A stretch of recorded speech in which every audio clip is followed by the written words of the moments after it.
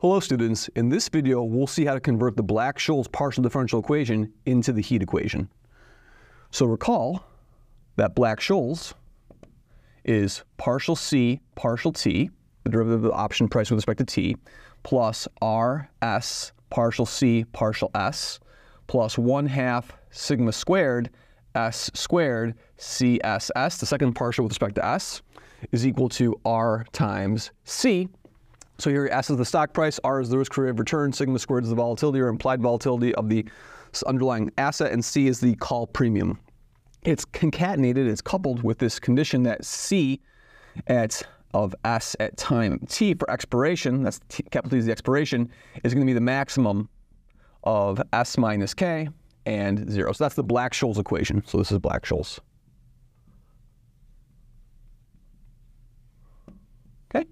And so what I'm going to do now is I'm going to make a couple changes of variables. And so here's the first change of variable we're going to do. So we're going to do the first change of variables, we're going to change the time parameter. So we're going to change time. We're going to let t be t capital, the expiration, minus tau over sigma squared over 2. Okay? And so now we can see that when I do the t derivative, the t derivative, the tau derivative and the t derivative are related. And so in other words, we have partial c partial t the derivative of c with respect to t is the derivative of c with respect to tau times the derivative of tau with respect to t. Okay? And clearly the derivative of tau with respect to t is going to be negative sigma squared over 2, right? So this is going to be partial, this is going to be c sub tau. And then partial tau, if I throw this negative, if I, if I solve for this, I'm going to have that tau is equal to, I throw the t on the other side multiply by this, we can write this relationship in the following way we can say that this is going to be a sigma squared over 2 with a negative sign. So negative sigma squared over 2. Okay, great. So that's just a linear change of variables for the time parameter, right? Now the important thing to notice is that when tau is equal to 0, t is at expiration. So I've interchanged the roles of the expiration and the origin for the time axis over here. So that's the first change of variable we're going to do. The second change of variable is we're going to do a classical change of variable, which is something that you see in the Cauchy-Euler equations. What we're going to do is we're going to let s be k times e to the x. Okay? And this is equivalent to saying that x is the natural log of s over k. And this is a quantity that's going to appear later on in the calculation when we find the final form of the Black-Scholes equation. So x is the natural log of s over k. And so now what is partial c partial s? Partial c partial s is partial c partial x times partial x partial s. Partial x partial s is just going to be a 1 over s. So we get this beautiful relationship that s times partial c partial s is really just partial c partial x. In other words, I can replace s times cs with just partial c partial x. Great. Now let me do one more s derivative over here. If I do partial squared c partial s squared, that's going to be, well, it's going to be the x derivative, so it's going to be partial squared c partial x squared times another 1 over s, that's going to be a 1 over s, and then another 1 over s, so I get a 1 over s squared. Then the derivative of 1 over s with respect to s is negative 1 over s squared, so it's going to be a minus partial c partial x, and then times a 1 over s squared. So this tells me that s squared times partial squared c partial s squared is equal to partial squared c partial x squared, this term over here, minus partial c partial x. Again, this is the same trick that we do for the Cauchy-Euler equations. Great, so now I have all the ingredients to change my, uh, to change the, the equation. So let's do it. So CT gets replaced with what? Gets replaced with negative sigma squared over 2 C tau. Then I have an S times CS. I can replace that with an R times partial C partial X. So that's going to be an R partial C partial X. Great. Then I have a 1 half sigma squared, so plus 1 half sigma squared. And then I have an s squared CSS. s squared CSS is given by CXX minus CX. And that's equal to R times C. R times C. Great.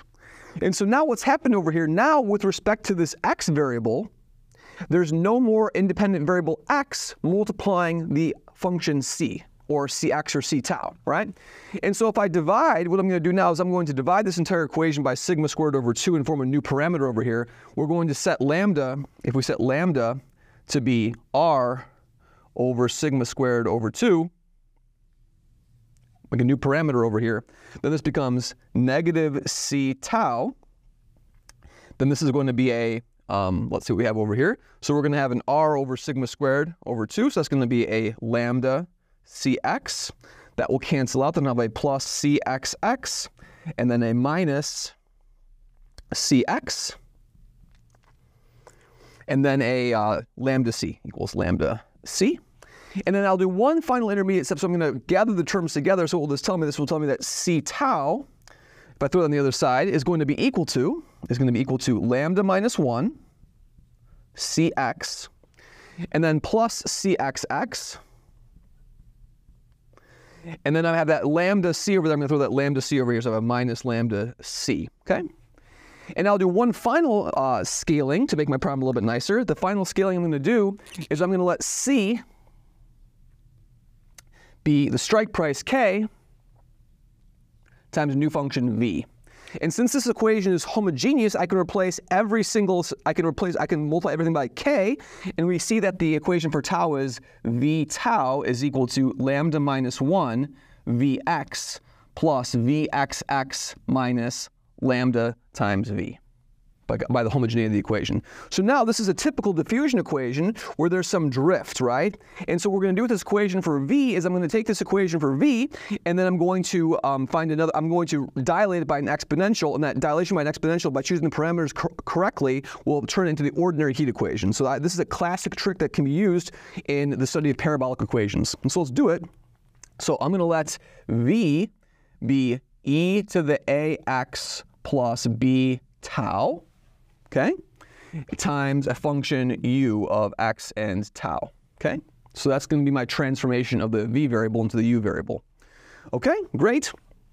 And so what will vx be? So vx, for example, vx will be ux times this exponential, e to the ax plus b tau, plus a e to the ax plus b tau times just a plain old u. Okay, that's the vx. And now I'll do the vxx term. vxx is going to be what? It's going to be, well, I'm going to have a uxx, and I'm going to pull the e to the x out of everything, plus we're going to have 2a ux, because this and this, and then finally, we'll have an a squared from the, from the x derivative of this, a squared, and this is going to be e to the ax plus b tau. And that's good because now I have these two terms over here taken care of, and now I need to find how v changes with respect to tau. So what will v tau be? Well, that's sort of easy to just put over here. So what's v tau going to be? So v tau is going to be just a just a u tau plus bu. This, this should be u over here, of course, right? A u. And then u tau, and then plus a or b u e to the ax plus b tau. Okay, excellent. And so now notice that every term over here in the v equation, v tau, vx, vxx, and v all have this, this exponential factor. So that's going to cancel out from every term. This exponential factor is just going to cancel in each and every one of those terms. Then I'm going to write the exponential factor. So what we're going to have is the following. We're going to have u tau plus bu, that is going to be the v tau contribution over here, will be equal to lambda minus 1, lambda minus 1 times what? vx, and my vx is right over here. It's going to be a ux, ux plus au. And then I have a vxx, which is going to be this term over here. It's going to be a uxx plus 2aux plus u. That's the Vxx term. And then I finally have minus lambda times u. So minus lambda times u over here. So I have a minus lambda u over there, because that's what we have. Great, so let's gather the terms together. So over here on the left-hand side, we're just going to leave a, a, single factor of u tau. So this is going to be a u tau. And u tau is going to be equal to what? Let's look at the factors of ux. So we have a ux well, well, I just have a plain old UXX, so let's leave the UXX right there. That's what I want to have at the end of the day. I want to have just this equation. That's just the ordinary heat equation, okay? Now let's look at the UX terms. So I have UX terms, and what are the coefficient of the UX terms? Well, I have a lambda minus 1 okay, from this term over here. And then what else do we have? I have a 2a ux, so I get a plus 2a, 2a. And then those are the only ux terms over there. That's great. And then I have some u terms over here. What are my u terms over here? The u terms are going to have what factors? Well, we have this a times lambda minus 1. Great. Over here. Then we have a, um, a single negative lambda over here, a plus 1 over here, and then finally a negative, negative um, b is going to come over here, negative b, and that's going to be my coefficient of u. Okay, excellent. So now I need to choose A and B. Well, look what we can do over here. If I choose, this is the, now this is the linchpin of the argument. If I choose A to be what? If I choose this to be 0, so that'll be a negative lambda minus 1 over 2, then what will happen? If that's the case, then this term is going to be drop out and be 0. So that's my choice for A. Great. Okay. What's my choice for, um, well, that's my choice for A now. So now what will that tell me? So this is going to tell me that this is going to be A over here. I would like this to be 0 also. So I'd like B to be equal to what? I'd like B to be equal to A lambda minus 1 minus lambda plus 1.